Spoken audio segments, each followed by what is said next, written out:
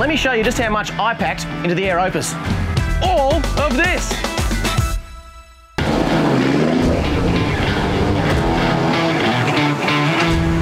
Another bonus of the Air Opus, as you can see right here, is how much gear you can take. I've got two surfboards, a kayak on the other side. I've got a fridge full of food for an entire week off the island, enough water to have a shower every single day. Chairs, tables, look, pretty much everything I need.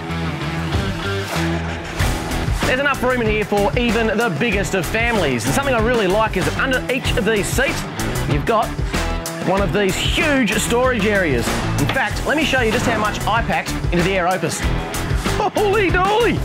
All of this.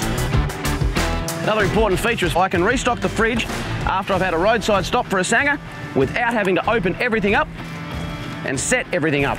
All these storage compartments can be accessed in roadside stops, and for me, that's a real bonus.